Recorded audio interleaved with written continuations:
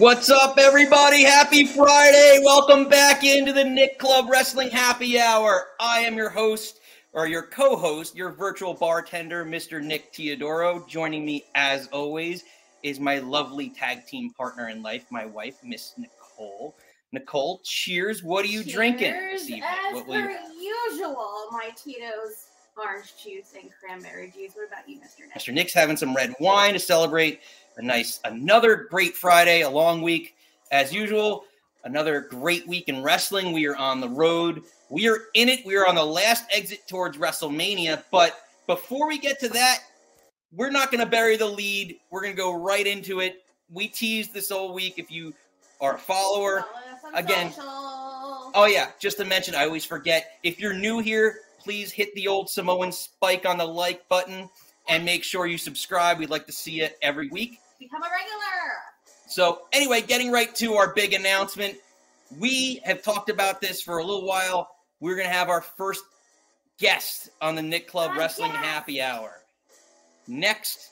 Well, this Wednesday, excuse me, April 3rd at 6 p.m. So our normal happy hour time in honor of WrestleMania week. WrestleMania is in Philadelphia.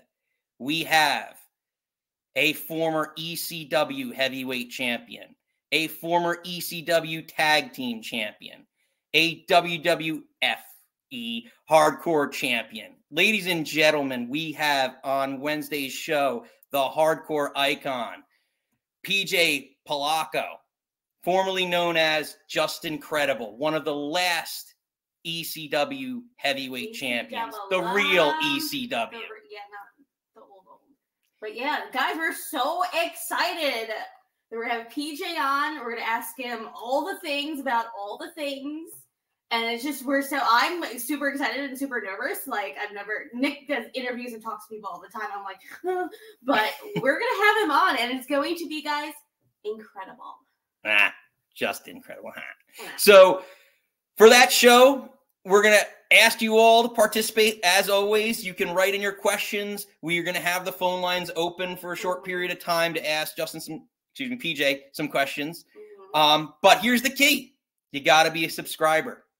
That's the rule. Get on the socials, baby. Become a regular. Exactly. And if you can't make it for some reason live, you can always watch the show later and you can submit your questions in. We finally now have an email. You can reach You're us. official. It may be hard to read on there, but it is nickclubwhh at gmail.com. So submit your questions, and those will be every week as well for the regular shows. Mhm. Could be topics, wrestlers, whatever you want to talk about. Tell us what you're thinking and what you're drinking. Exactly, the usual. So, But we're so excited to have PJ on next week, so you guys better tune in. exactly. So now, now that we got that exciting news out of the I way, like Tony Khan making a big announcement. well, we were making an announcement about we thought about that. we were gonna make it was so exciting guys i really wanted to make an announcement about this upcoming announcement next week's show we're gonna talk about when we're gonna make this announcement it's gonna be epic you're gonna love it all But- really excited Yeah, so we're being Tony Khan's and making an announcement.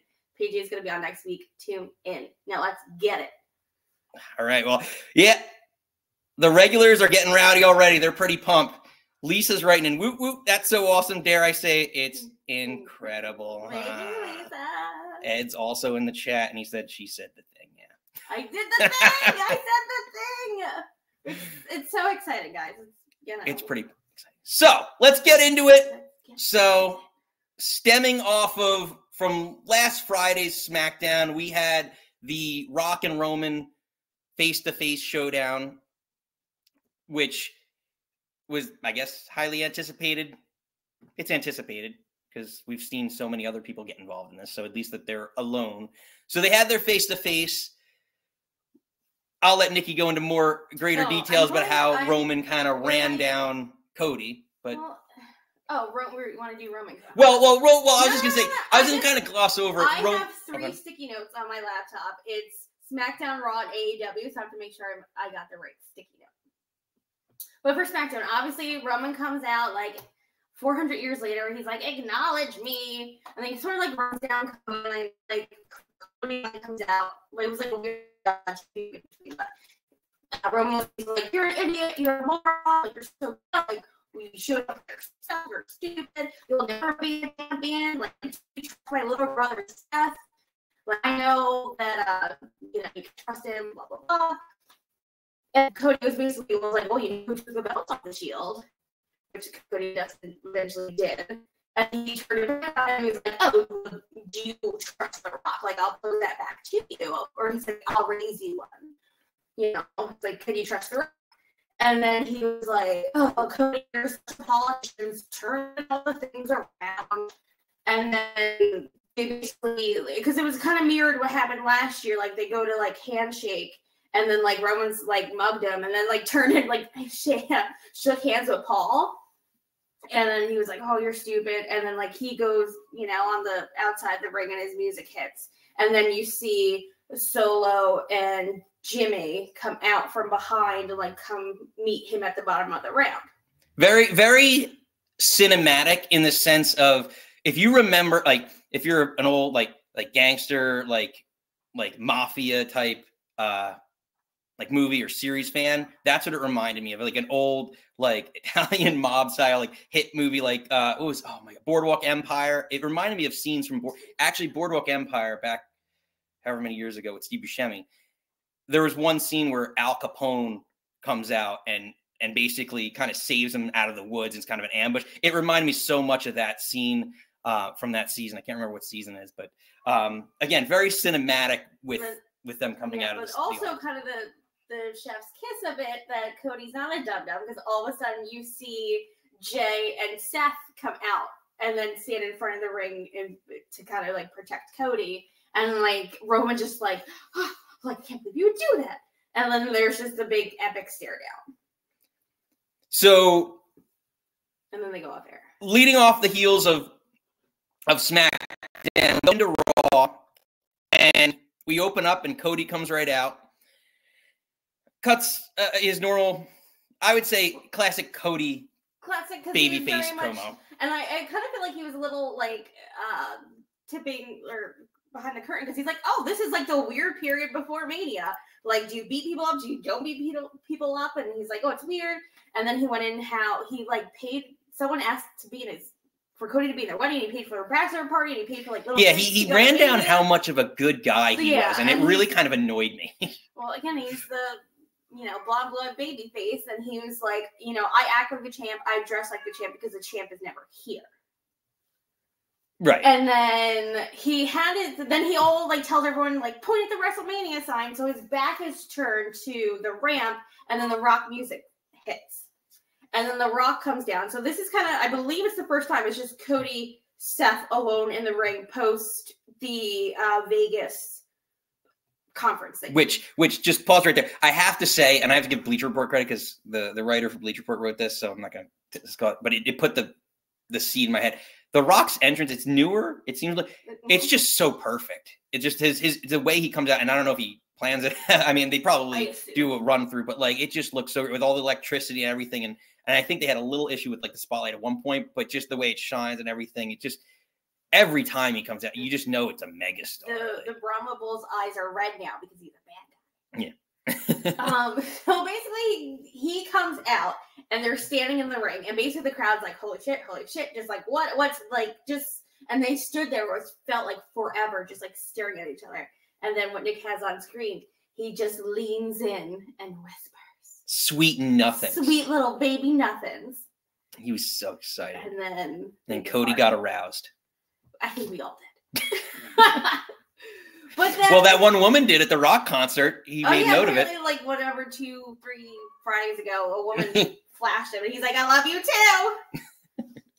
But um, but yes, so he whispers in and he, he oh go ahead. Sorry. Well, I was gonna pass. So they had the the whisper, and then they leave, and then what happens is, let me scroll down my notes.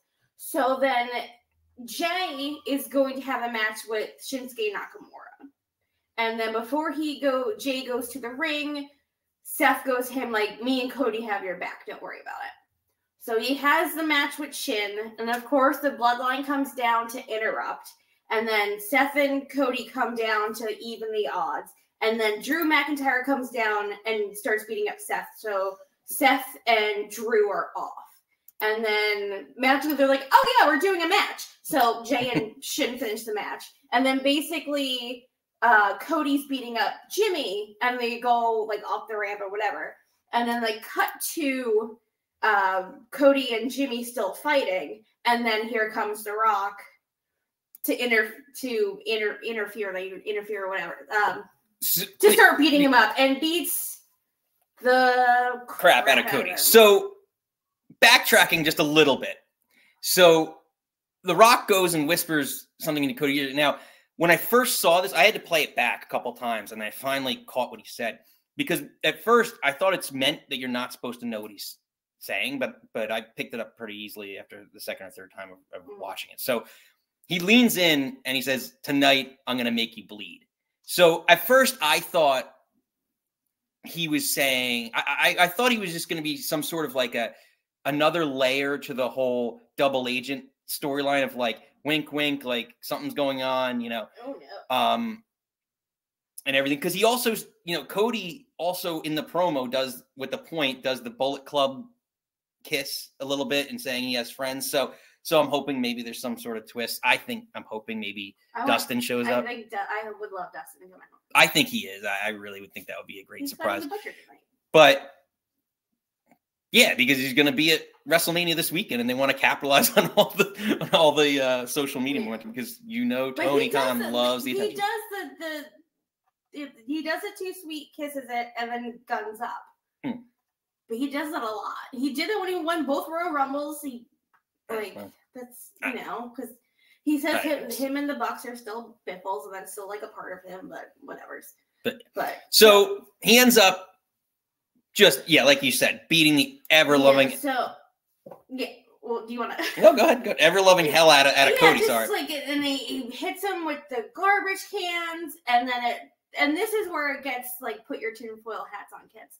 So then we finally go out. He gets them outside, and they, he like weirdly opens the door, and it's the back of Cody's bus, which is touting his vodka, whatever it's called, something with a W, I don't remember. And then he's like throwing him into the bus and doing this, and he's like, "Look at your." He said, "Look at him," so many times it's driving me insane.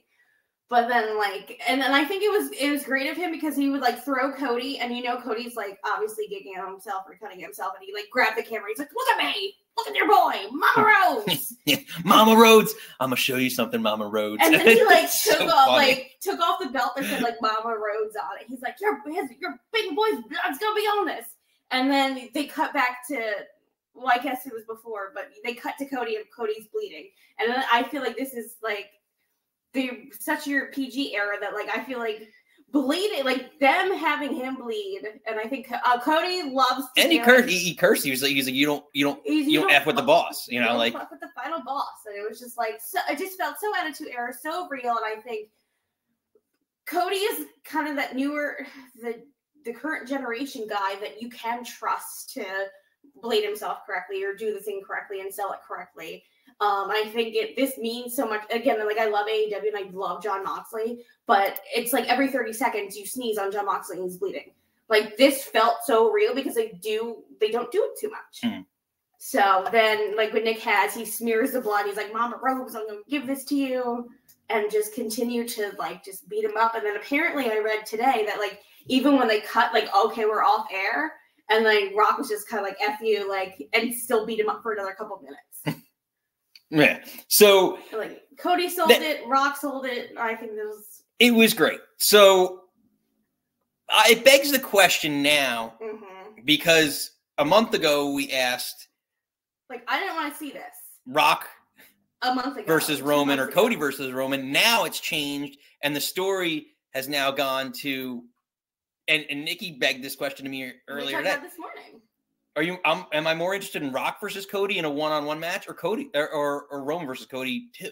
Uh, honestly, I mean, you know, I love The Rock, so I would love to see Rock. And and I talked about this on previous episodes of the show. Like him, Cody getting a win over The Rock could put him into a whole other tier of megastar Sure. level. Yeah. Um. So I- would absolutely love love to see it. I don't know. What what about you, Nikki? I don't know because again, I was very like uh, post Sorry, Yes. sorry. Ed, Ed Moxley's bleeding somewhere. Right? He probably. He is. probably is. And again, I love Moxley. I really, you know, if you listen to this and you know me, you know I love Mox. But it's just like, you know, just all the time. Like I do, and it's weird because I was listening to another podcast about it. It's like it's weird to say like I like bleeding in wrestling, but it would it has to be done right and it has to be done sparingly when it makes an impact. And this 100% made an impact. And I'm like watching the promo off on Friday and then going to this. I'm like, well, I want Cody to give the receipt back to The Rock. Like, I want to see that match. And you're bringing in mom and like, you know, Mm. he, and it's weird because he always calls his, his mom Michelle Rubio and he keeps saying Mama Rhodes. So it's like feels Mm. weird, but it's just like, I don't know. I feel like now I just want to see Cody beat the shit out of The Rock. And like Roman, and I, that's the thing. I feel like Roman feels like such an afterthought. Yeah. And I thought at the press conference, like Seth kind of felt like the afterthought. But now, out of the four of them, like like Roman's nowhere for me. No, uh, that, that yeah, it, it- it's crazy to think of. At least Lisa's chiming in on this. She should it really sounded like Dwayne Samoan heritage came out when he talked, like he had the Samoan accent come out, and it just felt scary a little. Yeah, like he's channeling that. Mo, I don't know. I never seen Moana, but I know that's like this thing. But whatever, and that's the end of the room promo. It's like, oh, uh, I have to say you're welcome, and I was like, what is that? And then everyone's like, oh, what's what his line from Moana? And I was like, oh, that's creepy. For the record, in our household now, Nicole is known as the final boss. oh yeah, surprise. Really, actually, it's probably it's probably Bailey. It- it's probably Bailey Oh, who's the she doesn't final boss. thing. But anyways, um, so again, after this, after smearing the blood, after making him bleed, you're calling out my mother. Like, I'd rather see Cody beat Rock than you know whatever with Roman. Like Roman's been, and I think Rock is sh- outshined. And I'm honestly, if I was Roman, I would maybe feel better about it not being the, them because like Rock would blow them out of the water at this point. Yeah. Unless he was like Rock was really going to be going in as a good guy. But honestly, even in the he's not my favorite person, but in the Attitude Era, better as a heel. So, so we want to know from all you: Would you want to see just if if that were on the table? It's not. Well, maybe it is. Who knows? They change plans like underwear. it seems like lately. So, would you want to see Rock? If if the if both matches were on the table, what would you want to see more? We want to hear from you. Let us know. Or does Cody win at Mania, and that's the SummerSlam match? Well, yeah, but I'm just saying. In if you had It- gun to your head, you have to have one or the other. What would you rather see? knowing right now to date, and I'm including everything from the storyline with Cody versus Roman and and everything with this with Rock and Cody from this point on. What would you want to see? And and let us know. I- We should. I, eventually, I'm going to get polls up into this into this chat and into onto the show, but and we'll start doing Okay. polls. But at times, um, but moving on. Raw was very action Raw was so good, and I love when wrestling is good. And I feel like both shows are just in like a sweet spot right now. But Raw was crazy, and then we go to the other big, huge match. Um, For the belt. For the for the other belt, the other belt, men's belt. Drew, and then of course they're in Chicago. So Punk's got to come out, and the promo off between Punk, Drew, and Seth. They said it was one of the highest uh, highest rated segment in a while, and this was like I I know I say chef's kiss so much on this, but I'm like motherfucking chef's kiss to this promo, and I also have notes on this. Let me scroll back up. It the three of them were were fantastic, and honestly, just just quick thoughts from me. I I the one who came out the, best still looks like Drew, and all three of them, I still think Oh, it's it it's so Punk's good. hometown. Seth Rollins is constantly over. He cuts great promo after great promo, but the only person on Monday night and the three of them that looked like that came out looking like gold, even though he got stomped to hell, to me was was Mhm. McIntyre. So, uh, of course, again, we're in Chicago, so CM Punk has to come out. Um, and this incredible open promo, my arm doesn't work, but my mouth does ask April. And I'm like, oh, girl, coming hot. Sorry, I love that line. I love his wife aging little bit of that. Um, and then he talks about how, like, you know, um, Roman was on a Pat McAfee show talking crap. Um, he was like, you know, was not saying anything. Like, The Rock hasn't said anything because he did the other promo. He's like, "Your arms are too short to box with God," and I'm like, "Oh, bringing that back." Um, and then That is a great line. That is such a great line. like, Your arms are too short to box with God. I was like, "Oh, girl." It says Punk is a big fan of pie. Yeah, he is. yes, Ed. Thank you. Uh, so then he calls out Drew. Drew comes out. He calls him a troll in a dress. And Drew's like, "Oh, you can get canceled for that." And then he shows his. Sh- he has the one shirt, like the Savior of Mating on it. It has like the check marks on the back. And they took off the other shirt, which is him trolling at like a grave of C- the, CM Punk grave thing. And then he was like, "Use use you use my name to sell merch." Yeah, I never had to put someone else's name name. on my shirt Yeah. which I think he used the line before in a was it AEW that he recently used that line, or is he? I've heard him say that before, and I feel like it was an AEW. Was it in? Oh, it was at the photo of MJF as a kid. Yeah, I think it was the MJF feud. Yeah, where where MJF started doing that, and and he basically called out MJF on it. Yeah, but then Drew came back, and I thought this was such a fun line too. There's so many lines in this. He was like, "You don't do drugs, you don't drink, but you're always in rehab." Yeah. and I was like, "Ah!" Yeah, he he's been spot on. He's Yeah. been spot on, and like even going. So on Monday before the show, he went to Mindy's Bakery, Yeah. and and that was just hysterical because he goes and of course, and I don't know if he planned it or not, but whether he did or not, it was just brilliant because he goes and he's like, of course it's closed and I'm friggin' starving, and he's like, I'll just go get like a muffin or eat healthy or, or you get something else, you know, besides this. So it's just everything he's doing is just, Just been- gold. and right I don't. We did talk about it the other week when he was like uh, working out in Cry Me a River. He played Cry Me a River in the background. So at this point, Drew sits cross-legged on the announce desk like CM Punk did when he did the pipe bomb, and then he's like, "Don't look up my skirt, you perv," which was also amazing. Um, and then he was like, "Oh, you know, I'm the chosen one," and Punk's like, "By who? Tell me who." But he said, uh, "What moral something something?" It's like Punk said something back. He was like, "Oh, who chose you?" And then it, then Drew kind of was like, stirred away from that one, and was basically said then Punk should be on commentary for the Seth Drew match. So supposedly the reports that are coming out are that they basically just gave them an old school attitude era type type just like here's the nuts and not the nuts and bolts but had basics. to framework get- of what Yeah, that wasn't do. scripted. It was basically the bullet points that they had to make and basically get to CM Punk being the announce being the special guest announce person for the match. So then of course then Seth uh comes out and then he's like, Oh, what do you want to see Seth do? And he's like, Oh, I should change then they started chanting. So he's like, Oh, I'll take the thing of the crowd. And ev- the crowd starts chanting referee. And then Seth was like, "Oh, what's his counting arm?" So then Seth like flat Punk flattens himself on the mat and does the, the count one, two, yeah. three. And you can see Seth was like, "Oh, he got me."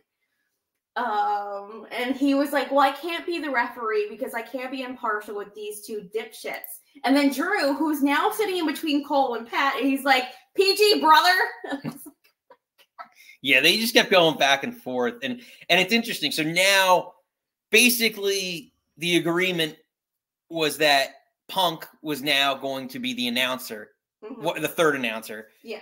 for the match. So Okay. Well, I'm just saying how he gets to that. He was like, I'm gonna do something that Drew can't do, Seth can't do, Seth's wife can't do. I'm gonna finally make you two interesting. And then punk music hits. And then Drew's like, nah, nah, like you're not in this match. You're not ending the segment with your music. And Drew's like, cut the music, and then And McIntyre, you mean, Punk. McIntyre came out and said, You're not in this. Oh yeah, I'm sorry. Did I say punk? Yeah. Well, they so he, he, I'm sorry, guys. So he cut off P- Punk's music. He's like, "You're not in this match. You don't get to end this." And then he gets in the. Oh, yeah. Uh, no, yeah. Yeah, McIntyre said that. Yes, correct. Sorry, McIntyre yells at Punk. You're not in this match. Your music doesn't end this. Then he gets into the ring and then eats a super kick and a stomp. Seth music. Right. So, begs the question topic for this week Will CM Punk get involved physically at WrestleMania 4? He's going to be on the announce team. So, he's not the referee, which again, he can count, but he can't be impartial. Does CM Punk get physically involved in the world title match at WrestleMania 40? We want to hear from you. What do you all think? Let us know. Me personally, I still feel like there's going to be some sort of angle where after like midway through the match, a ref gets knocked down, and all of a sudden Punk just reveals, "Oh, I magically have a ref a referee shirt on," and he he somehow counts it. Now, I think the question is though, like I still think McIntyre's going over, so I just don't know how that would look. But like. I wouldn't again. Like how I originally what I said with the the Rock and involved in the Cody Roman match. Uh, he can get involved and do a thing, but I don't want the thing that he does to immediately go into the pin and then the person wins because Punk got involved. that's fair. That's fair. Like again, I really want just want clean finishes, which I know hello wrestling. But if, if it's for the belts, I and these people are going on to be champions, like Drew needs to win clean, Cody needs to win clean. But that's my opinion. I could be wrong. Um, just looking through some of these comments here. Um, but yeah, again, one way or another. Uh, let's see. Lisa got the next. One way or another, Punk's going to get physically involved. Low blow or someone maybe gets goes to GTS and shows his arm like fine. I, I still think he's out for a few months, Lisa. I don't know. Uh, I, I, I, think it's whoever, whether it's Drew or Seth, whoever wins this match, I think Punk will fight them at SummerSlam. I don't think he's going to be cleared beforehand. And I think that's the other thing, like how physical, like he threw himself on the mat to do it one, two, three, but I don't know if he's medically cleared to be taking bumps. Like all for Corey Graves, all this stuff, like he had a lot of concussions, and that's why he retired and went to commentary. He was like on the list for a very long time a person, like you cannot touch him. Mm. So I don't know if he's just like he can be in the ring and do a thing, but to get physically, I don't know, and I don't know if we will have to watch the sheets to see how. Yeah, I don't think he will. I don't think Punk could do could lift somebody up Yeah, I don't. to do it. I mean, I yeah, I think more likely yeah, like, maybe like, he him with some, but yeah, like counting the pin. I, it'd I be interesting. He's gonna. I, there, I feel like there's something he's gonna. than him doing that. Like I don't know. There'll be an altercation. He'll be stand. Or at least, Or at least they'll stand up next to each Or other. someone get it's such a typical thing. You get the wrestler will throw them into a thing, or like Punk is like jaw jacking with Drew, and then like Hmm. Drew will move out of the way, and like Seth hits Punk, or like one of those things, and it's like he gets someone hits him in inadvertently Hmm. Right. at commentary. So, moving on, those were the two major, at least world title picture uh, events or of the last week for us, in, at least in our minds.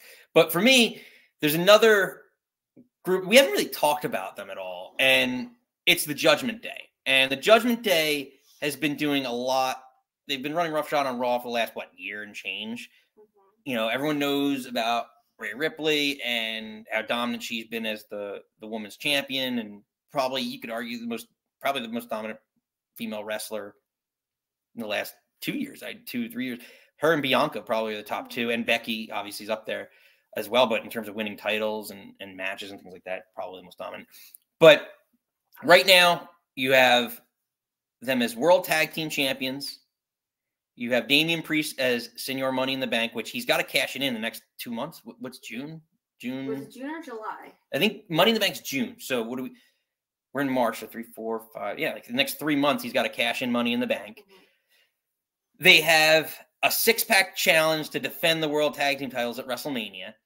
Rhea's defending her women's title at WrestleMania 40 against Becky Lynch, which is no surefire win for her versus you know other opponents that may not have as much momentum and and name value for that matter. So the last couple of weeks, Judgment Day. I mean, they've been beating up R-Truth a lot and the Miz and stuff like that, and I get it, but it's R-Truth. Who's a comedy act? Let's be honest. And the last couple of weeks, the foil has been Ricochet. Ricochet has been beating pretty much everyone in Judgment Day, aside from Damian Priest and, and Finn. But but really, he's been beaten up on McDonagh and um and Dom, Dirty Dom. So so we're at the point where going into WrestleMania with all the matches that are coming up, I asked the question: Has the Judgment Day peaked? Because a six pack challenge at WrestleMania for the World Tag Team titles. Not the odds aren't in their favor.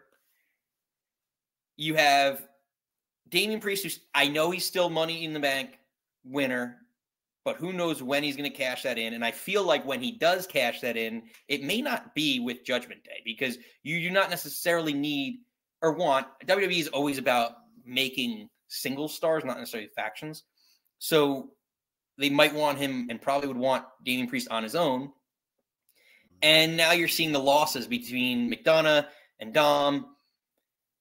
And they're it's they're hinting at maybe kicking McDonagh out of the group in some ways because of the you know, his performance. So I'm curious to see is this the end of the Judgment Day? You know, Rhea's a star on her own, doesn't need Judgment Day to to do anything to get anywhere.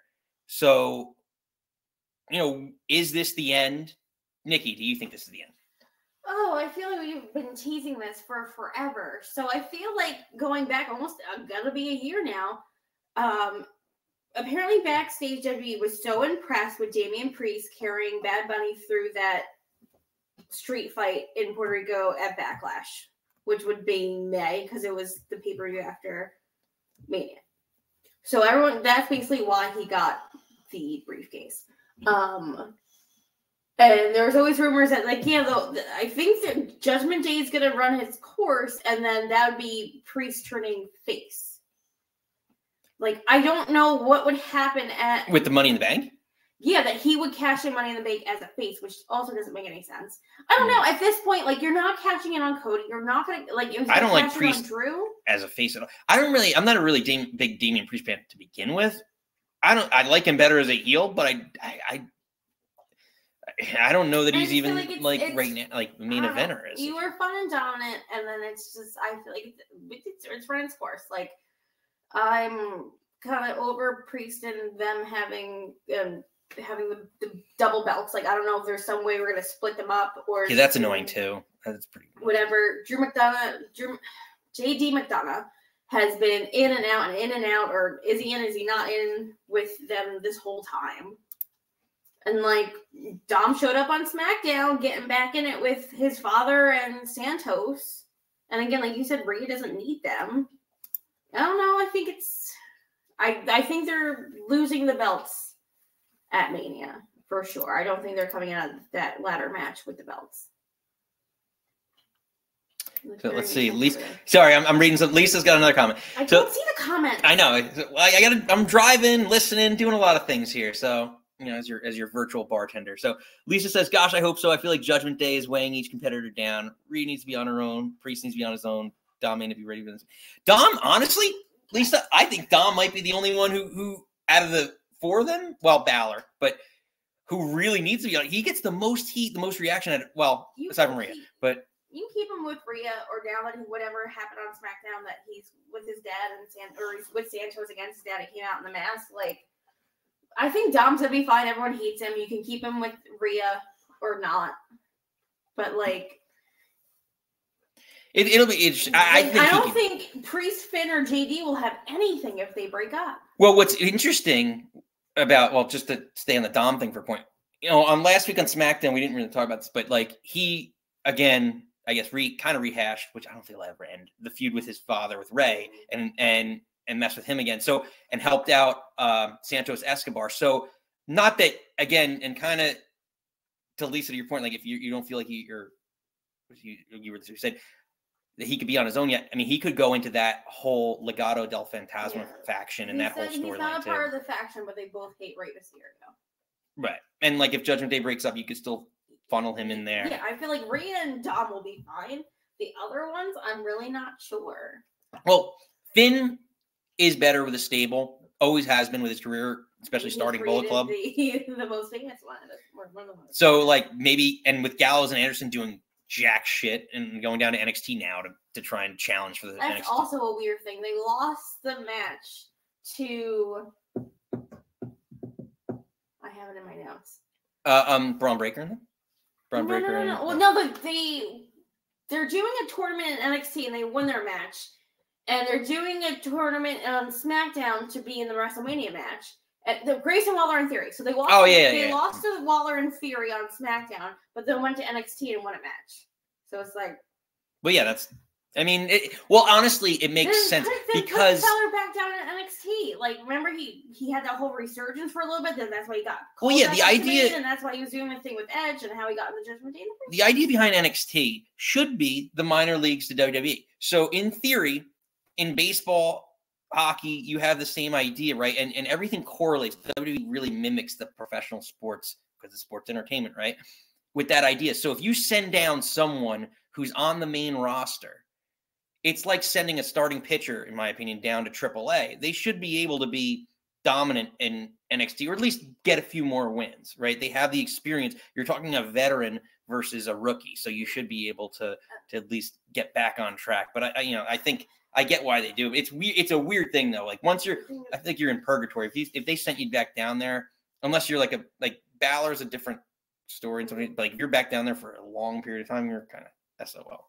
Um, maybe it's a KOD for your Mhm. your career in some ways. But moving on, so we like to cover all types of wrestling here, and basically the big two are what we, we focus on. So we're gonna move into Wednesday and just kind of some blanket takeaways on AEW this week. So as always, ladies first. Um, but Nikki, she I'm sure she's got a laundry list of notes. Um, literally as a- And just before before Nikki goes on her diatribe about everything AEW, make sure I know we've got a lot of uh, listeners in right now, so make sure if you're new here, make sure you subscribe, comment below. The phone lines are open. We're going to open those up very shortly. Uh, so feel free to call in. There's a call in link pinned in. It's in the chat. Mhm. Um, it's actually on the link. So if you want to call in and express your opinions, tell us you like what we say, you hate what we say, you want to talk about old school wrestling, new school wrestling, we talk about it all. But anyway, go ahead, Nikki. AEW. I do want to clear up some controversy from last week's show. I'm wearing my Copeland shirt because his name is Adam Copeland. Oh, see. But Oh, go ahead. I was gonna say, but I digress. 'cause We haven't said that yet. But Nick is wearing the head of the table shirt. Yes, you know for- he, he's the head of the table, but For Mom- wishful thinking for Mom later this evening. boss. Nobody? That might be the alcohol. Yeah. So AEW, I I thought this match was so crazy. I said that to you maybe like a hundred times when we were watching this. It opened with Shibata Ospreay, a TV sh- TV weekly TV opened with this match that would have was a pay per view. Their first match was like seven years ago. I was like, if this is still New Japan, this is a pay per view match. Like, how is this open? It blew my mind how this was opening Dynamite. But of course, with Shibata and Ospreay, chef's kiss of a match. Like the chops, the Germans. He kicked Shibata kicked out of the the um uh the, the Os cutter at one, and he was just like begging for him to hit Hmm. him.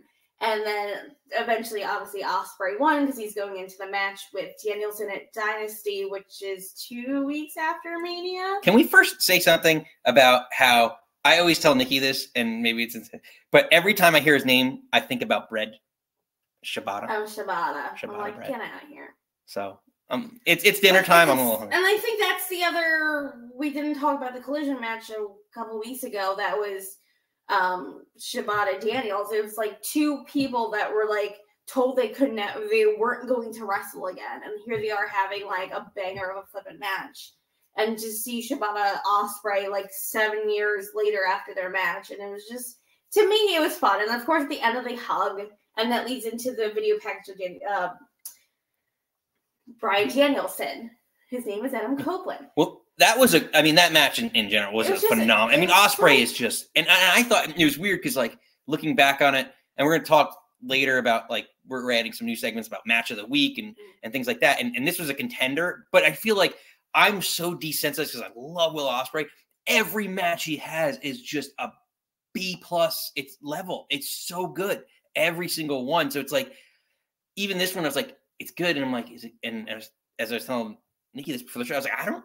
ah, Can I make the best match of the week? It probably should be like every week. I could probably nominate it. Yeah, just the Germans. There's so many Germans.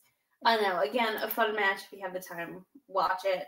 Um, then it goes into the Young Bucks do a promo. They're facing Private Party. Um, the last time they faced Private Party, they lost. It was the original first tag team tournament to crown the tag team champions. Um, a lot of callbacks to the first match in this match. Um, Started off like a squash. I thought it was gonna be a squash. I know Like it was Rebecca too. Um, but came back. I loved. I believe Nick hit it on Mark. Sorry, Nicholas hit it on Marq Quen, the Falcon Arrow off the um Banister, barricade. yeah, barricade. It was yeah. on the a barricade. And then I was like, oh, that because the steps were right there. And I was like, oh, that looked gnarly. Um, but then of course, like the referee was distracted. There was a low blow. There's a belt shot. There's all the things. But basically, obviously, they went with the V EVP trigger. Yeah, they renamed it. Yeah. So of course they won.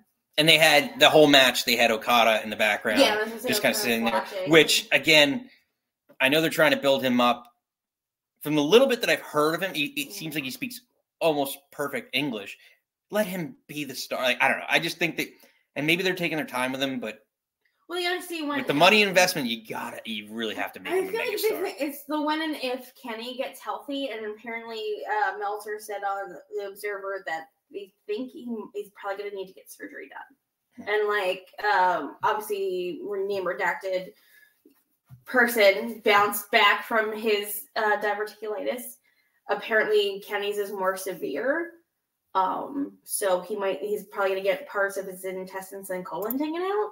Um, but we'll see. But it feels weird for them to do to be together and like Kenny's not with like being the the baby face against that. And also to go back in my uh, notes, I made such a big deal of this at the promo.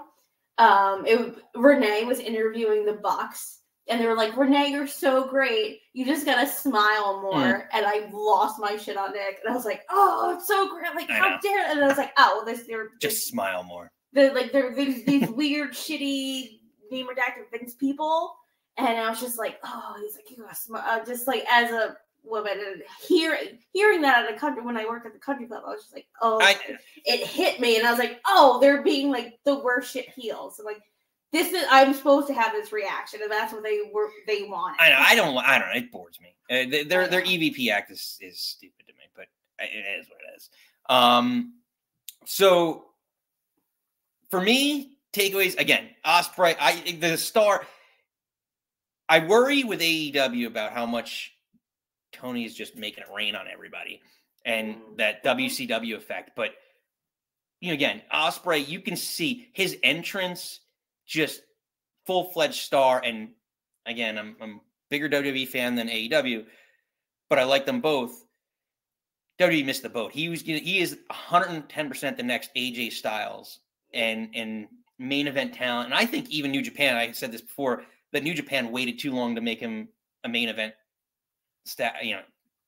Tier wrestler, like his matches with Ricochet, put him on the map. Those years after, he should have been right in contention because once you have that kind of exposure, you really need to be Yeah. front and center. I think the the rumor on the sheets was that like Triple H didn't realize that he can cut a promo. He's like, oh, he's the flippy guy, and then you see him on AEW killing it, bruv. Like Mm. he, he's cutting his promos, and he just like the crowd is on like every single word he's saying. Like he's so he's very energetic and passionate when he when he talks on the mic, which Yeah. is he's not like super like he's like- creative with his words, but he he's he's, He's like, passionate. I That got my over. pugs and I got my cats and I got my misses and I'm just like, but like I don't know. We'll. I think The other thing for me, and it is, and you've talked about this. So I got to give Nikki credit for for a while on on um, the success of what he's done so far. Swerve has just been on a whole of them. I thought he had the charisma and, and was going to be someone who is going to, you know, again, just cut great promos. But I didn't realize how talented he was in the ring. He honestly, and maybe this is, he's almost athletically on the level like I of like Kofi Kingston. The way he jumps and in his athleticism, I, I feel like he N- almost not not not the same. Not he's not jumping like doing you know twenty feet, but but he has a tremendous amount of athleticism that in WWE maybe he didn't get the show, and now and even in his early days in AEW, I felt like he he wasn't being able to and to display that to anybody, and now he's at the point where you're seeing it, and He's he's in the main event picture. Yeah.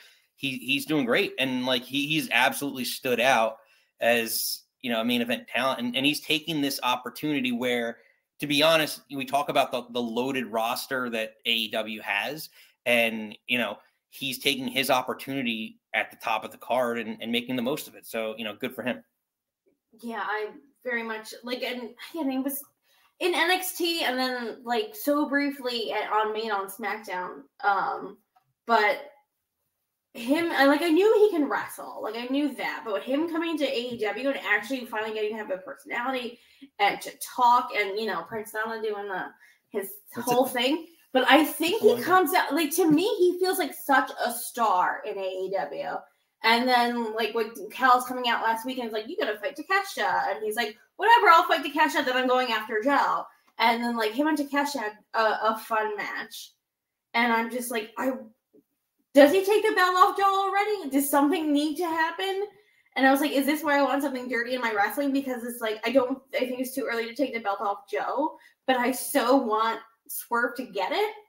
I don't know. I think Swerve's a star. I think he he will be the first African American uh, AEW champion, which I think would be fantastic. I think he definitely deserves that. Um, I don't know. I'm so captivated. Like I wasn't in. I really don't know what it was. Maybe getting the opportunity, maybe not being so scripted, but like literally in NXT could not care. And then AEW, like I cannot take my eyes so, off him. I think he's a star. I think he has the ability for sure, and if he has the like the right momentum, I'm a big momentum guy. I'm like, mm-hmm. you have to have the right momentum to be champion, and I think anyone anyone with the right momentum can be a champion. Like Sami Zayn last year could have been a champion with all the momentum he had. He had the Daniel Bryan momentum, right? So I think you do it. My problem is that storyline wise, I'm still annoyed that this whole storyline should be centered around the devil storyline, which or the championship, sorry, excuse me, should be centered around the devil storyline, which is Adam Cole screwed over MJF. Where's MJF? He just went away, right? Like, and now Joe won the belt because Adam Cole essentially screwed over MJF. Like he didn't hand him the ring, right? So like now we're gonna like keep moving this along. I get it. And maybe that's it could be its own match and its own main event match, but oh, the belt it was centered around like he screwed he was screwed over out of the title. I don't like the whole aspect of just like moving that along because that was what it was all about, getting the title. And Adam Cole even said it. His whole purpose was to basically get the title. Now he's trying to send Wardlow to get the title, who failed. But regardless, yeah, uh, the, the whole so. I have to sort of disagree with you. I think. Oh please. Poor, poor Wardlow. I love Wardlow. He deserves more than he's getting, but at this point, like the devil, I don't think the devil reveal was very great. I think Adam Cole should have jumped off that ramp and screwed everything over. Um, I think also. Um, well, talk about Darby Allin jumping off things and hurting themselves. That was yeah, but um, MJ like MJF is apparently banged up and something I don't know if it, the show is the shoulder that they're trying to go back and forth if he needs surgery doesn't need surgery. They're hoping he's young enough and can just rehab it but there's a apparently a rumor that he that he might need to get the surgery. But again it's like Adam Cole can't wrestle MJF can't wrestle then we need to move away from this. And I think um the match between Joe um, Swerve and Adam Page was fantastic. I think the Swerve Page trilogy really put Swerve on the map as well. And honestly, like if he does take the belt off Joe at Dynasty, like I'd be okay with that. But I think at this point, like MJF's hurt, Adam Cole's hurt. Um, I don't. It's just like well, I'm. Let's move. Let's move on then. Like then let's get Swerve in and let's move on. Well, we got a bunch of listeners in. What do you all think? Do you want MJF to come back and be in the title picture? Do you want Adam Cole? Do you want that that whole storyline to be part of the picture, or do you want Swerve Joe and just move on and maybe Swerve's the next champion and, and carries it and we have a, a fighting yeah. champion, as Nikki likes to say, or as we all like to say, right? We want to hear from you. Phone lines are open. Feel free to call in. We're going to take some calls pretty soon. We, um, so again, let us know. Moving on. So we have one last segment before we get into the callers here for this next segment? Or yeah, oh. So we we thought it'd be fun. Yesterday and today was opening day for baseball. So being a Mets fan, my season ends always on opening day, probably a couple innings in, or nine innings in, pretty much. So I get used to hearing three up, three down. So, in honor of baseball season, we're doing our own three up, three down for this week. So, as always, ladies first. I, I feel like I Nikki, who I is one of your ups? blew my load a little early, guys. Um, my first one was Swerve. Again, I think I just said everything I needed to say about Swerve. Um, I think he's a star. I think he can cut a great promo. His matches are great. Watch him and Takeshita. I think, and then it's like again him and I think really put him on the map with him and uh, Hangman. And I, I do. I kind of. I, I think it's maybe too early to take it off Joe, but again, I would not be mad if they took it off Joe and he just like carried it. Hmm. I and that's the thing. I think once you put it on Swerve, I, he needs to Okay. to hold it for a while. Um, but that was my first one, so I was quick on that one. So I just blabbered on about him five minutes ago. Okay. So you. So so mine, I will go with obviously, and we kind of touched on this already. Drew McIntyre. I know he was down, he was put down and, and ended up on the ground on Monday night, but promo after promo, week after week, whether it's social media, in the matches, he just gets over every time, and he's just looking more and more like gold. So he's my my first thumb up. My second one, we already we just touched on it with AEW. Will Ospreay, another phenomenal match. He's had two great matches to start. He's had two great promos. He has kicked off his AEW career the way that I think you need to, and if Yeah. like that, I would have expected them to do with Okada. So I think he's on a, a completely different. I mean, he's a wrestler on a completely different level, but uh, he is just absolutely killing it. And and once they eventually get him into the main event picture, I think they're really going to get their money's worth out of Will Ospreay. Who's your number two uh, star up or up? I. I really didn't do mine in order, but um, I'm yeah, gonna give uh, a shout out to Candice LeRae. Um, you know, I like my women's wrestling. Um, she's turning heel. and Um, I'm into it. it. It was a little weird when she like yelled at um, what's her face about her dead The worm. or dead her Uh, oh my gosh. uh, Maxxine Dupri. Why am I so bad with names all of a sudden? Um, but the match she had with Nia Giles is was apparently cut because the the promo of Drew Seth and Punk went too long.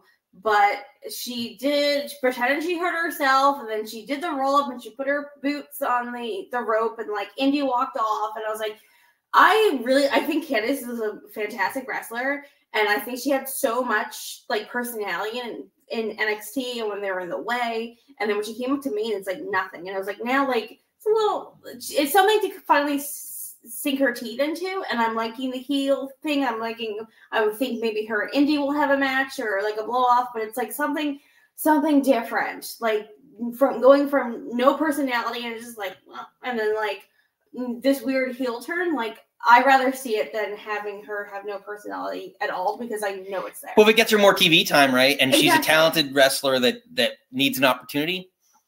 More more yeah, power I'm. I'm excited to see where this goes, and I think I think the eventual heel turn on Indi will happen because like Indi walked away that she cheated and it's been discussed this whole time. Hmm. But like personality, get it, Candice. Who is your third? My third, can I get in the chat a yes boy? Pretty deadly.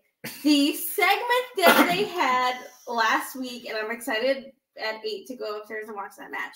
So KO was talking to Aldis, and then Pretty Deadly come in and basically went to KO was like, "Oh, what do you know about tag team wrestling?" And he's like, "Well, I won the, the tag belts last year." And they're like, "Oh, living in the past." And KO was like, "Oh, I'll challenge you to a tag match." And they're like, "You don't have any friends." And he like yells off camera, like, "Hey, do you want to be tag team partners with me?"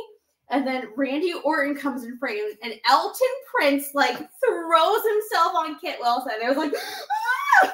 just like, oh my god, I could not stop laughing. I probably rewatched the segment like a hundred times. They're the new, not what are they called? No, Fandango and Breeze. What are they called? Breezango. Breezango. yeah, They're the new Breezango.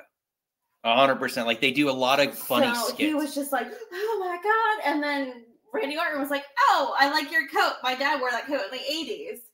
And then he was like, "Oh, you want to be pet tag partners with me?" And I was like, "Yeah." And then Randy, he's like, "Oh, we need to play like video games, my boss or whatever," and walks off. And then uh KO basically like said that he's like, "Oh, last time I was in this building, I punched two people at once and like walked off." And all this was like, maybe don't stand next to each other. And then KO comes and punches them both in the face, and they sold it so wonderful. And they had the other promo a couple weeks ago now when like they had the the rivalry with um Peter Dunne and Tyler Bate. That and then like he broke all his fingers and he had like bandages on his fingers and like they had like a cartoon of like uh, Queen Elizabeth come down and like oh Lizzie and it's just like they're so fun and they're so funny that I just I love to see them coming back because I think they debuted and like dipped a little bit, and I want them on the upswing. Yeah, well, I, I think because who doesn't love a yes boy? the, the only thing is is the issue with them is going to be are they more of a comedy act that's not that's going to take them a while to get over, but we'll see. But as long as they're So- having those little skits backstage, I'm good. Sorry. So, Jan, so my third just this week, and well, this week kind of continues the momentum. Ricochet had a phenomenal match. He oh, he's been putting on banger after banger, week after week. He's been feuding with the Judgment Day. He's been getting over. He's coming as the foil. I'm hoping there's been times in the past where Triple H has given him good booking and some momentum. I'm hoping that this is the turn for him. So he's my three ups. That match was phenomenal. Honestly, uh, we'll talk about this later, and I'll probably bleed in. That was my match of the week. Ricochet, JD McDonagh, to to a lot of high spots. Right, Dom was in it. You got Dom out of out of the match. I haven't seen a shooting star shooting star crossbody is what it was to finish a match. I thought that was awesome a on a standing opponent, and that's why just that alone you just never see that. And it was two two great wrestlers, similar size that and it takes unique people to, to kind of pull it Mhm. off at times. So that was why he was my my third up for this week. So moving on to downs for me, those were a lot easier to do. I think Nikki and I are probably gonna be in agreement on this. I don't know if you made your list, but Roman Reigns. I don't really. I, I know you had a showdown with Cody Rhodes. I still don't know what the hell you're doing. Other than like, I know you're battling him, but everyone else is fighting. Roman Reigns hasn't thrown a punch. I feel like it's been Solo. It's been um, Jimmy. It, it's been everybody else. I'm waiting to see Paul Heyman throw a punch before Roman Reigns. It's gonna happen. It's gonna happen. For his right, it's gonna be at his Hall of Fame induction ceremony. Paul Heyman, yeah, is just gonna come out and just give a right hand to Cody Rhodes. He's gonna have to fight through everybody.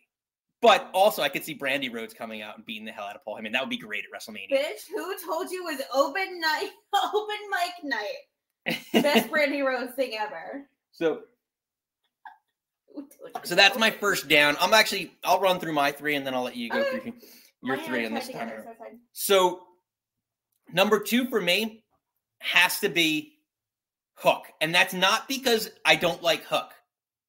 It's because I do like Hook because I think Hook is one of the another one of these. To be honest, I think he's more of a pillar than the four than some of the four pillars that have been called that. Like definitely than more than Jungle Boy for sure. And in terms of getting reaction, but Hook gets it down for me because Chris Jericho is going to be his manager, and now Hook's talking more. It, it just the mystique of him being a badass fighter. And, and everything else. Like he, I think having a mouthpiece, a mouthpiece, excuse me, would be good for him, but not Chris Jericho. I'm over Chris Jericho trying to do everything. Chris Jericho should be on the announce team. Just, just be next to. I almost called him Lucha. In my head, I called him Luchasaurus. Um, Excalibur. Excalibur. I don't know why I did that, but just go on the announce team. You're good on the announce team. Maybe do a one-off match every six months or something like that at the stage in your career, like Sting used to. I'm over it. I'm done with it. Hooks getting getting it down for me because now they're just throwing him together, and I feel like they've been doing that recently. Um, you know, they had the best thing he had was Danhausen, and then they they like moved on from him. Like Where's Danhausen been? Good I know, one of my favorites. And then three for me on a down, and it's been on a downturn for a while now because I really like the guy Karrion Kross, and like that faction I thought was going to do a lot for him. Haven't seen anything, done anything, and he just looks weaker and weaker. And at this point, I, I'm I'm hoping I'm hoping post WrestleMania he'll get a renewed because you know some of these guys go away and you get a little bit more opening of the roster. But I don't know. Nikki, what about you? Well, my first one was AOP. So to piggyback off what you said, hey, maybe this faction would be a thing. Like, why haven't we heard more from Paul Ellering? Because he boy can talk.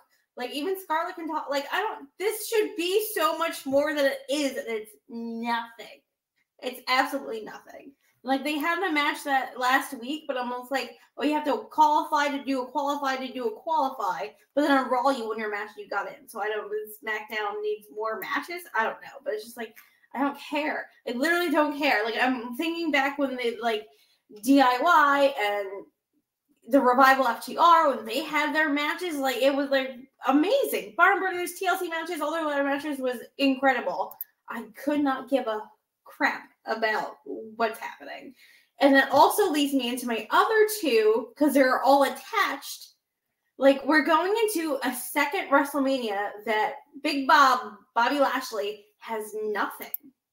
And if they do something to uh, at this week's SmackDown, I'm sure it's going to be like an eight or six man Yeah. Oh yeah. tag Uh, match. But I'm like, who cares? No one's gonna get anything from winning. Like last year, again, uh, RIP. Unfortunately, I think Bobby was supposed to do something with Bray Wyatt last year, and obviously that didn't happen. So he won the Andre on SmackDown, and then came out on WrestleMania and did the Andre the Giant pose, and like no no. one cares. I'm like, we're going into another mini match that Bobby Lashley has Jack. And he's super over. and I can't believe I know they he chant for him so hard, and like nothing. It- He's It's going crazy. to a me. second Manny with nothing. That also leads me into the Street Profits. Super over. Everyone and like, will they? Won't they? Were they? Were they gonna break out? Because like Montez Montez Ford seems to be the star, but then like Hawkins lost like a the crap ton of weight and it was like doing all these crazy moves. And like uh Tez and Bianca had that show on Hulu. They're like, oh, they're gonna be, they're gonna do something with them. Nothing. Like they won the match, but again, they have to win the match to do a match. Well, no, they the need to be match. heels. Like the the whole idea with, in my Yeah, opinion, with them with Bobby was they were going to be heels, and thing. they they're not They're heels. supposed to be a heel faction, but Bobby gets cheered too much. that They're not. So everyone's in this weird between. Like the Mm. six of them are in this weird between stuff. No one's getting over. No one's doing anything. Like split them. Like after Mania, split them up, put them on different brands. Like this is not working for anybody. And like Montez is a star. I think Bobby's a star. Like Hawkins is good. Like I do like. Karrion Kross. I think AOP should be this big monster tag team, and no one's getting anything out of Oh, yeah. No, no, no one's getting anything out of this feud. Like, Um, and um, with that's gonna be our piss break smoke match of Mania if that becomes a, a tag match. What do you all think? Who's your top three? Who's your three up, three down for this week, or in general, the last couple weeks? We want to hear from you all. Phone lines are open. Feel free to call in. We're gonna take some callers in another Huh? second. Uh, Steven's got a good good line.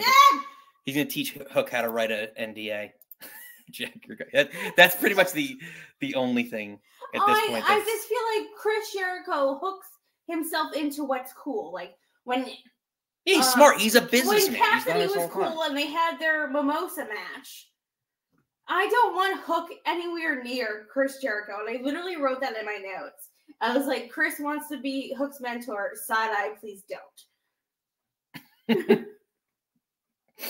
I love when he comes out to um oh I would have uh not George's plans.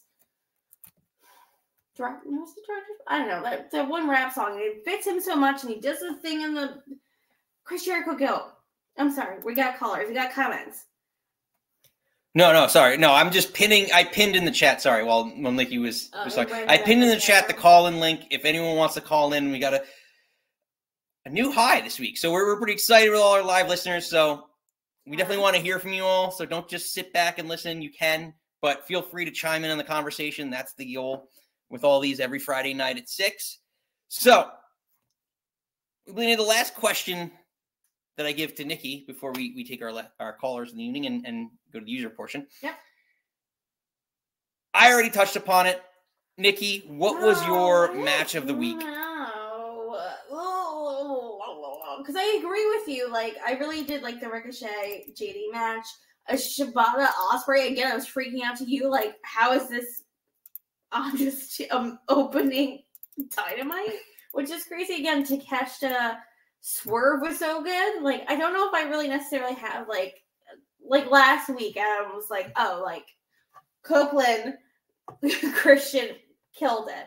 I don't know if this I really have a firm, but like just go watch and enjoy all the things. Again, like I think we're at such a good point that like wrestling is good and we need to support good wrestling. So watch WWE, AEW, TNA, watch all the things.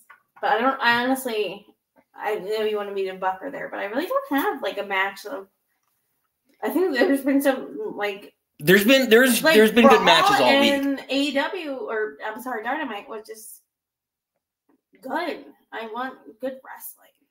So internet world out there, listener world, did you guys see anything Huh? this week that you really liked? I want to hear from you. All right, let's get into it. We've, we've gone a, a pretty long time. Got some new listeners. Again, phone lines are open. It's pinned in the chat. But I think we know who this is. Oh no. But he's coming in as the Easter Bunny. But don't don't be a lemon. Be a lime. I, I saw a rosebud. Sorry, I was so close to putting that in the in in our slides. Oh, this week. I was Oh so close. God. The only that was the only thing I could think about is all the different people that played the bunny, and wasn't Justin Gabriel the bunny at one point in time? Yes. Yeah. So, and they never revealed anyone, or did they? I don't remember No. revealing anyone. But and then there's a couple other people. Like, wasn't was it Alexa Bliss that was a member of the the There was so- it was Alexa Bliss, Becky Lynch, Braun Strowman. I feel like there was more, but was, I know those are the three. Yeah, Braun I remember was a- remember 'cause there was a picture that was Okay. just like, oh, women's champion, women's champion, women's champion. But what's the what's the Easter bunny? All right, sorry, sorry. We'll let him in. So, who's the Easter bunny? Is it Steve? Who else? Ah, what are you thinking? What are you drinking? I I had forgotten about Adam Rose until you just mentioned it.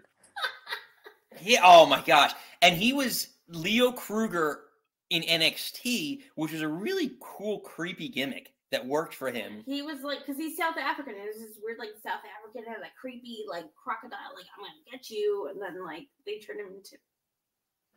It was the leftover stalker gimmick, but done right. Yeah, eh, basically. Yes. so, Steve, what do you, what are you thinking this What week? What, what, do you, what do you got for us? That was the most AEW episode of Raw I think there has ever been. Agreed. and, and and when when you say that, what do you mean by it? I mean, that you know, with the the the the the blood and the promo, it's like they're they're picking up Oh, Yeah, for- they're picking up tricks uh, that you know, and AEW, AEW should be picking up tricks from their competitor as well. Well, well, what's neat is that like I feel like every time WrestleMania season rolls around, it's always like they push the envelope. WWE pushes the envelope with blood or vi- like a little bit more back to the attitude era of wrestling. Like when, like the uh, Becky, Ronda, Charlotte thing when they, they got arrested and they kicked the the window out of the cop car. Like it seems to like uptick. Yeah. Yeah. Oh, go ahead, Steve. No, but um, I mean, I I still believe that this is a setup with Cody and Rock to, uh, working together. Yeah, I, honestly, the the whole the thing to me, and, and and I said earlier, like the thing that was weird is the whole lean in with you know your hands behind your back, and then and then and then he whispers sweet nothings into his ear, and you know Cody was turned on, Ugh. but you get those tingly, electrified feelings. But regardless, glad I had dinner already. yeah, seriously, seriously, think about that.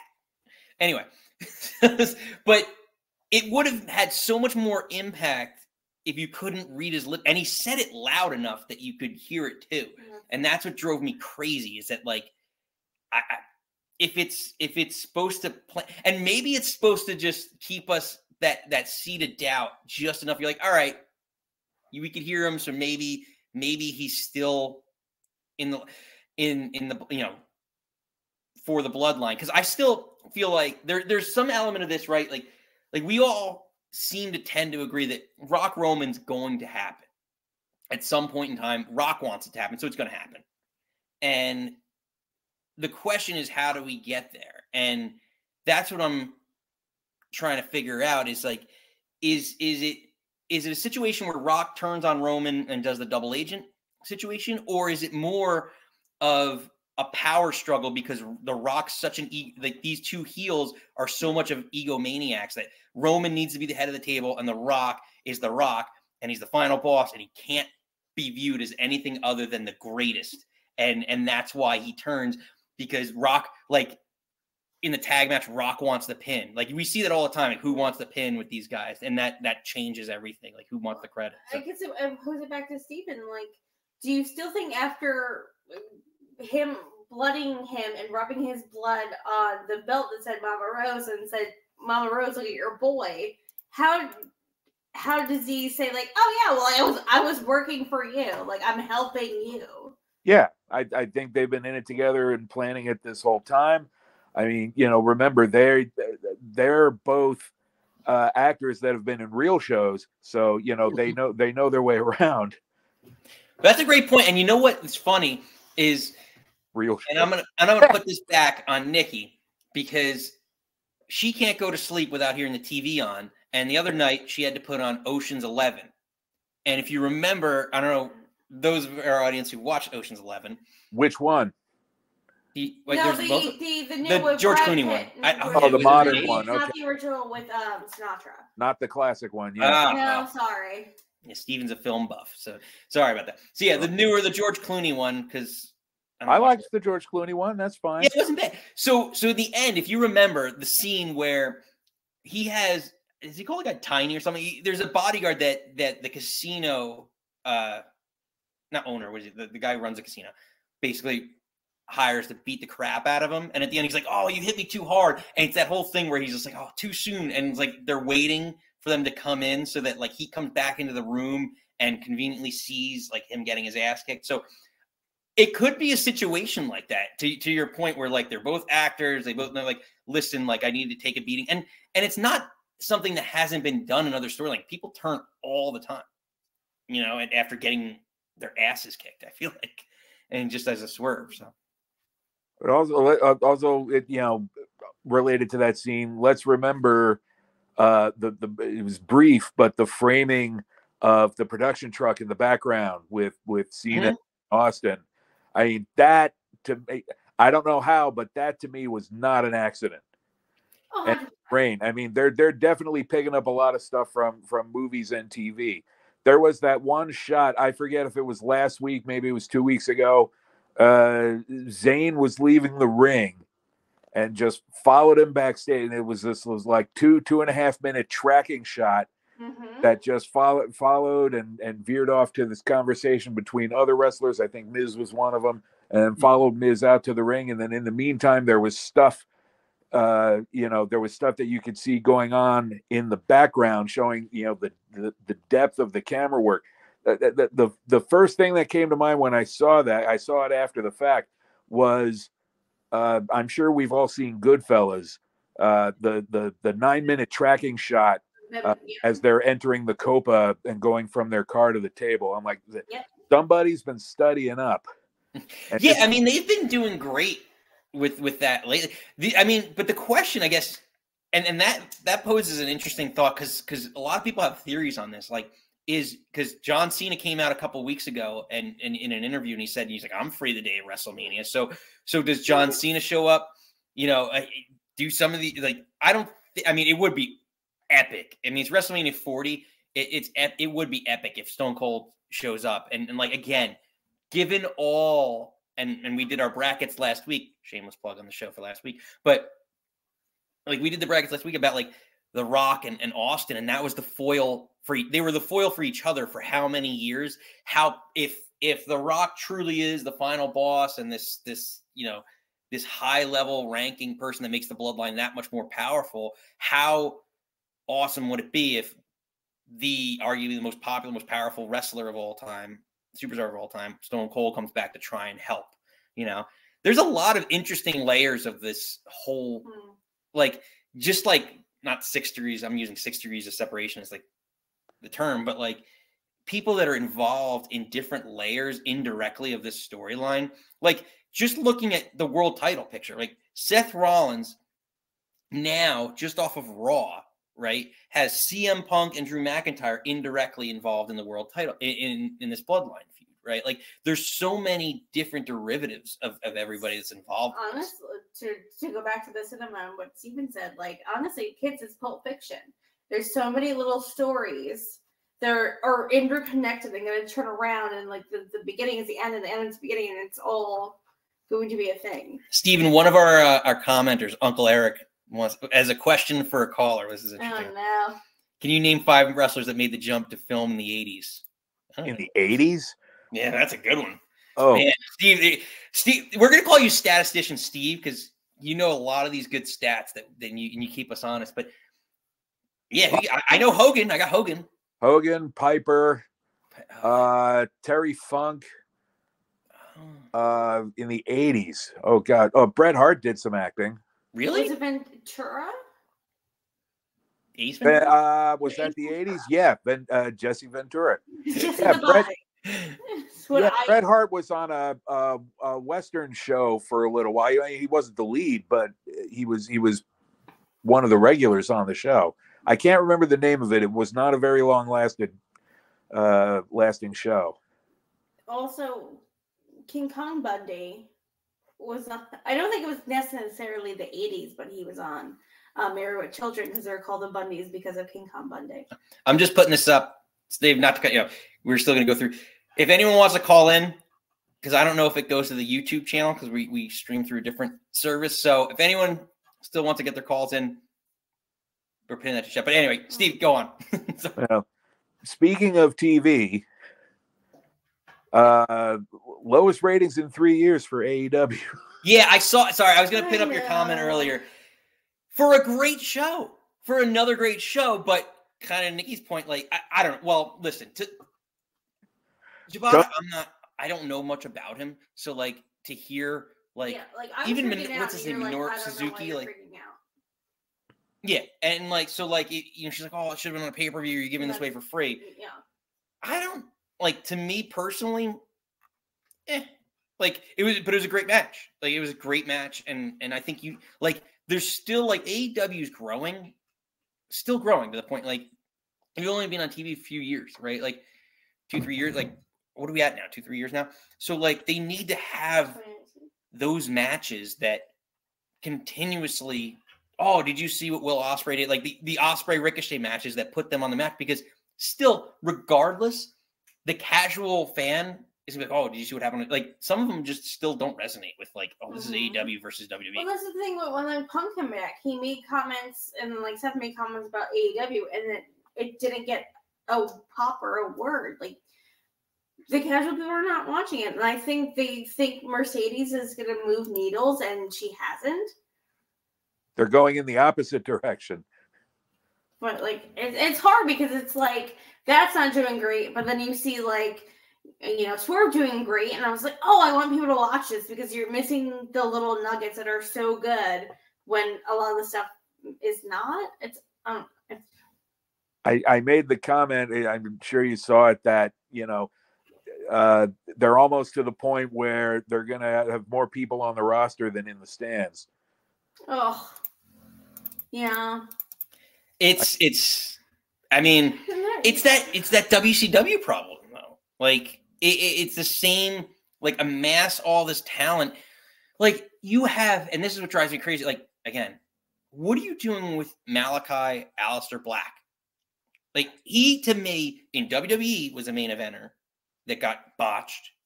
Was on. He was actually rumored, believe it or not. Uh, he was rumored to win the Royal Rumble. Um, I think the was it the year Cody like two years ago, two or three years ago when he was. I'm blanking on it, but basically Paul Heyman came out in an interview and said that uh, the year it was Lesnar, someone on the. It was, but it was was like three- 2021. yes, it was like 2021 or 20, Yeah, and basically he was 2021, rumored to it win the like Rumble that year. And Ronda won, and Becky shit on Ronda this week, which I love. But side note, Mhm. um, Yeah, it, it's it's pretty good. So like he's another guy that just like lost in the shuffle. Like I mean, like again, it's like everyone makes the joke that like Tony Khan's Andy from Toy Story is like, I don't want to play with you anymore, and the toys get thrown aside. So like I'm hoping again, like so so so far so good with like Swerve, and but like Monet can go the same way. Like she's not moving the needle. Like Adam Cole's whatever, Wardlow's whatever.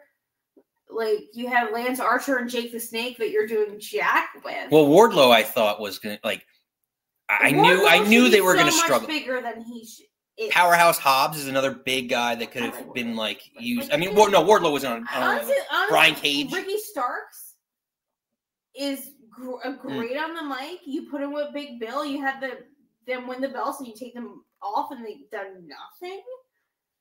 Yeah, it, it's been it's been a, a- like he's got a lot. I, I yeah, I think the the writing needs to be better for AEW with, with the talent that they have. They could still name between Moxley, Al, uh, Malakai Black, whatever we're calling, Yeah, Moxley, Brian Okada, Yeah. the Young Bucks, and why are you? and and and uh, Ospreay. Like those five Like, names alone. Well, those five names alone in your main then- event and, picture And the could women's be. like Toni Storm is fucking killing. You have Thunder Rosa, like you have Deonna Purrazzo, who I love. Like I know Britt Baker's been off TV. Like even like I really like Julia Hart. I think she's grown grown up. Like I think Willow, like Kris Statlander, like you should be so much flipping better than you are. Like look at your talent. Like why are you bad? Like Mm. why is stuff not great? But again, you have these little gems that are, you know, Oscar. Oscar. Oh, that's another thing. That's a side note. Um, Ospreay, Shibata, like Kingston. Oh, like, yeah. You've got Yeah, there's so there's many so much talent, main event level talent in that whole roster that they they don't use. Yeah. Um, I'm sure I'm sure some of our listeners can can, can let us know. Like I mean, who- if- who's someone who's someone in AEW that you that you is Miro. misused? Miro, yeah, Miro, yeah, yeah, Miro. Miro. Oh, him and CJ got divorced. Yeah, that that that's it. Well, But you know, like, and where's she's gonna go. Listen, let's be honest. Everyone knows CJ Parker's gonna go where she belongs with Nick Nemeth in in Um, Impact. Because I remember, well, that was a whole thing that like But again, you that got- name redacted wanted to get uh Nick Nemeth and, and them together, but so Yeah, kind of like- stupid. But anyway, again, like where's Danhausen? Where's Miro? Like Kip Sabian, I liked. Like Butcher's barely doing anything. He's got the a rampage match with Dustin. Like if I if I was Tony's father, because that's whose money this is that Tony Yeah. is losing. You know, Tony's father's going to eventually get tired of, of losing money and and having to worry about selling extra tickets to the Jacksonville Jaguars games. Um, I would. Dad, can I get more for my allowance? I really want to sign another Japanese wrestler. It's supposed to be the next big thing. I would tell to I if I was Tony's father, I would tell Tony stop collecting wrestlers like they're Pokemon. Uh, cut cut the re- cut the roster by at least half. Hire a booker who knows what they're doing. Uh, maybe Demore, he seems to be available. I don't know who else would be. Demore would be a great. That's actually a great. That would be the best they can. Oh, if Tony can get him in, money, money, money. Yeah, if they if they if, you know if they want to reverse it because I don't I don't think this is uh unsalvageable. I remember there was a period um SmackDown was taping on Tuesday to broadcast on Friday hmm and SmackDown uh, the SmackDown tapings were drawing about as many people as AEW is now to their arenas, and they were in and they were in full size arenas too. And that was with I think Daniel Bryan as one of the leads. I I forget how far back this goes. This is maybe at least ten years. Um, and and and and they weren't really drawing anything, and the ratings were. eh, I mean, they weren't they weren't as bad as as AEW's, but uh, you know, still not uh, great.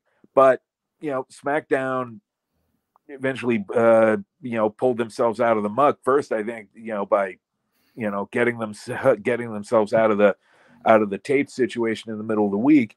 Mhm. Uh, I mean, so it's not impossible for a for uh, AEW to reverse uh, the flow. Well, the thing is, like, and and it's nothing wrong. Like, and they're not on that like that micro level. There's nothing wrong with what Impact does, like, or or NXT for that matter. You know, if you fill up a smaller arena, it still looks better. I think we lost Steve. Um, but Dad! But Steve, we definitely we definitely hear you on that. Like if you if you lose if you fill sorry excuse me if you fill up a smaller arena, it it's still filled with loud. It's, it's chanting the- fans that get It's gotta be the vibe. Like you can be in with fifty people, five hundred people, five thousand people, but the people that are there need to be in and need to be chanting. Because there's so many times you watch a show and people are quiet and it's weird. Again, we went through the whole flipping pandemic era when you didn't hear anything and it was weird. Like you have to go to shows, you have to be loud, you have to Yeah. participate, you have to do a thing. Yeah, it, it's funny because uh, ooh sorry, Oh. I'm on a new stool this tonight, so we're trying to get a little higher level No, up. We're very so I much don't I'm not like this like I normally am. So anyway, but um, yeah, like uh, I, I think there's there's a lot there's something to be said about like getting a reaction, whether it's in a small like even in a small like how many times do I'm sure us our listeners like go to indie shows and it's and like an empty gym with 20 people, yeah. But like, how much better would it be if you just did a, a little bit smaller a gym, like something like that? Like, there's nothing wrong with that. You can film. We were watching. So, you know, spoiler alert, because we have a lot of listeners in right now. Again, on Wednesday we have former ECW heavyweight champion PJ Polaco, formerly known as Justin Credible.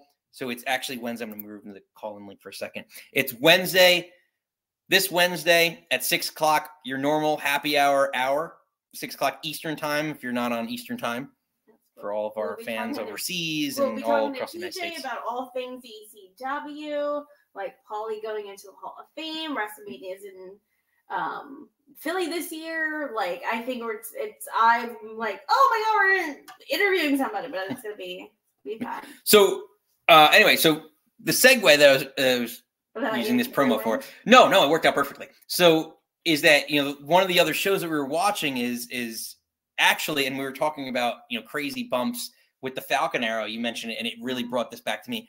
So ECW did a show in the Cobb County. I guess it was like a prison. Um, and yeah, and they they ma- made reference to the big boss man there and all that stuff.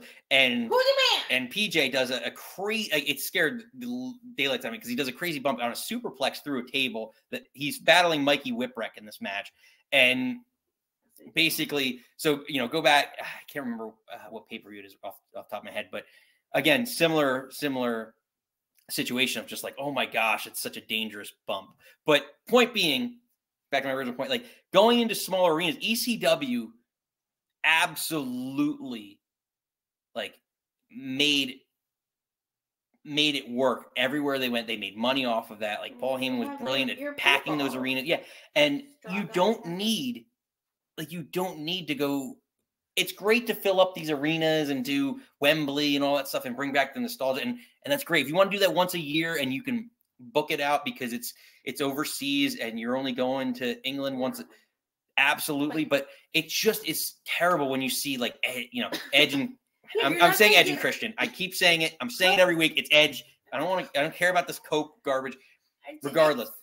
Finish your point. but but him like you know having these great matches and like okada's debut and ospreay's debut in front of these like smaller crowds doesn't do him and, and it's not because the crowd's it's just as long as you have enough energy and you put them in front of a good group it's going to just ignite the passion of the whole fan base and the fan base more importantly that's watching on tv Like you can't do like I feel like like you're doing this big basketball arena like Milwaukee.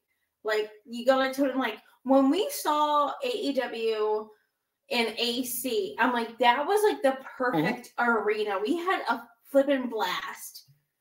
Like the maybe do your smaller thing, and I think that's why the ECW arena worked so hard. Like this is our home, this is our little crowd, and we have our people Yeah. there. So don't think you're gonna sell out of like the football stadium.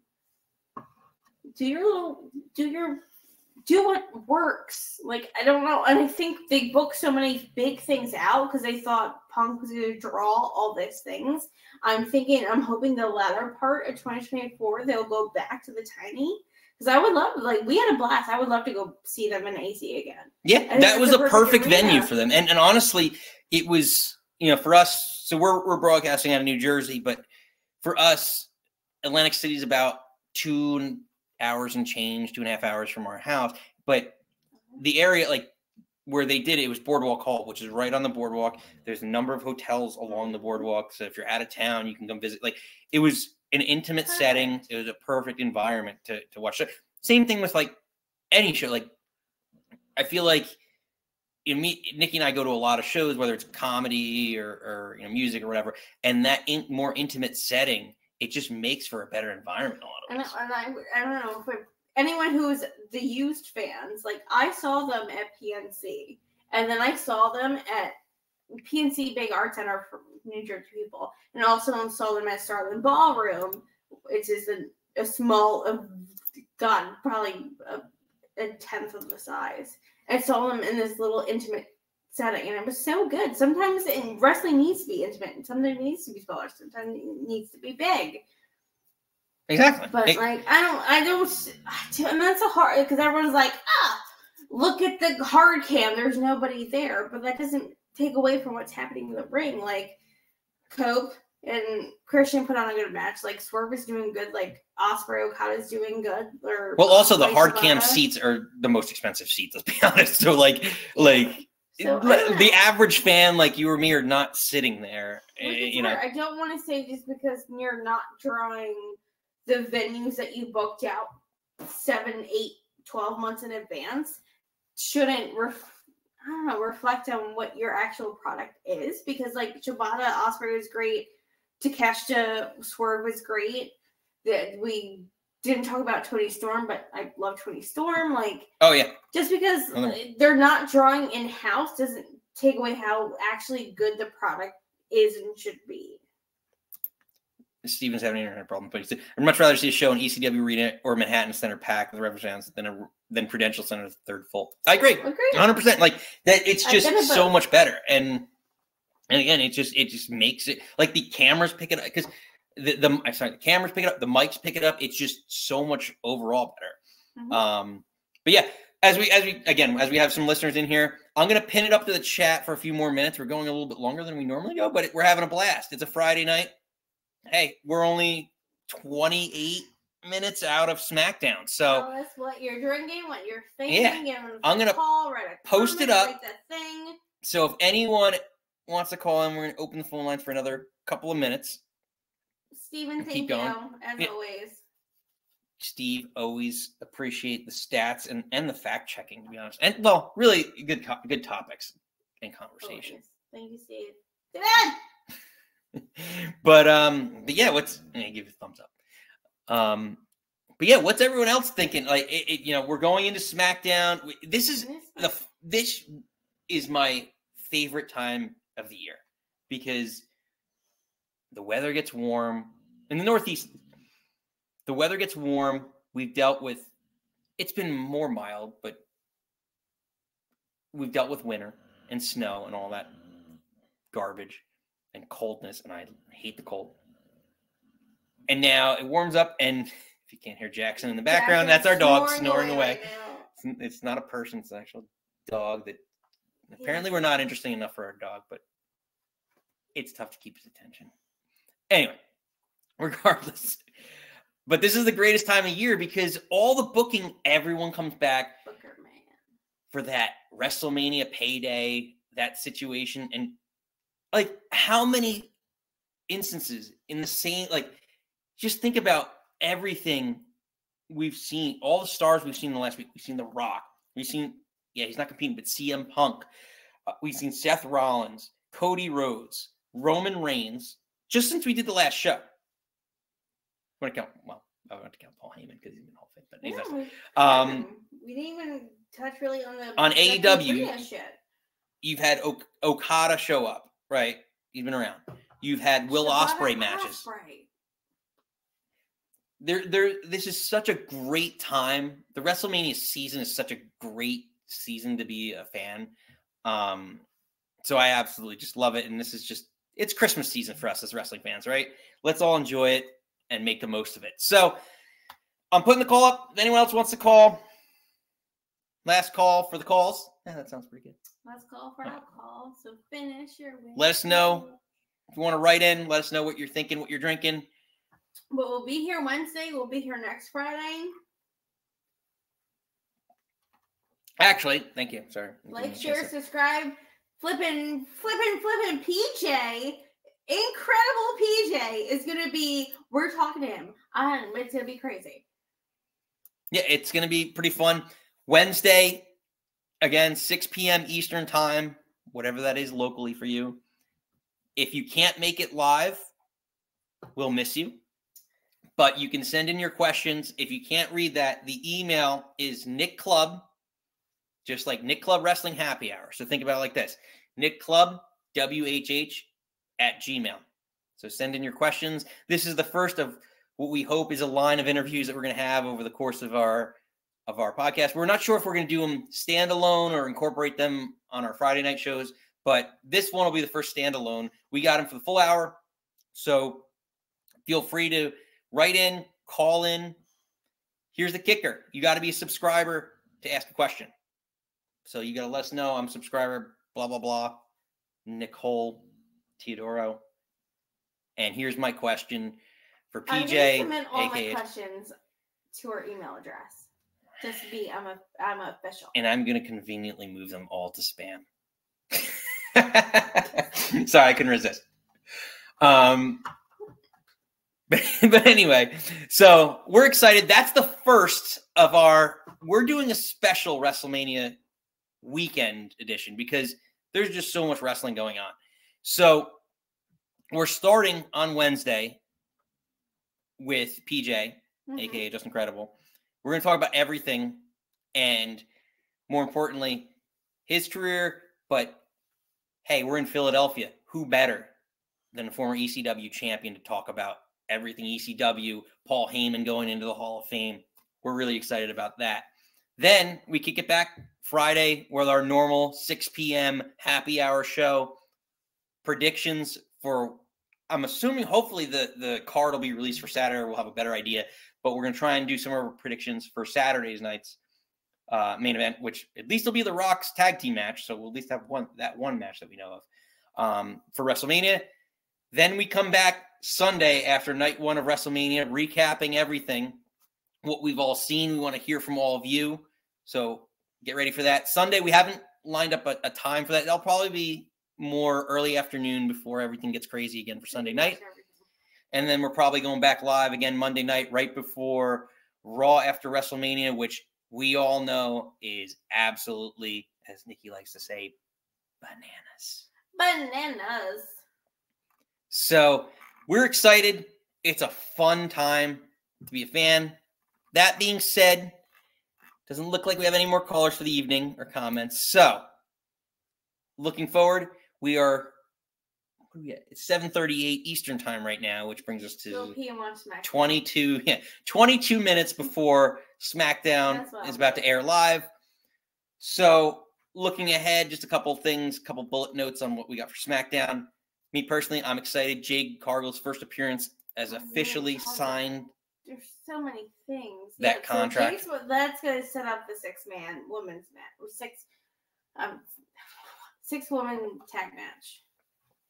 For, for me, so Jade will be there. Mm. We have a yeah, and then actually, there's probably Bianca versus Dakota Kai is actually scheduled for yeah, the so evening. that's good again. Six woman tag. So very exciting for the evening. I'm excited because Jade Cargill, I'm a big Jade Cargill fan, and I really think that she's going to do a lot of great things in WWE. So pretty pretty pumped for SmackDown. So let us know. Until next time, we will see you on Wednesday. So again, Wednesday. Different time, weekday time, DJ Wednesday, two hours before your local AEW Dynamite. Figure it that way. So we're gonna bleed our right in. PJ interview into Dynamite. So, as always, this has been a pleasure. again, if you're new here, to all our new listeners, make sure before you leave, you hit the subscribe button. You like, leave a comment below if you agree with what we say, don't agree. We like to hear all the stuff. Um, but until next time, you don't have to go home. But you can't stay here. Bye.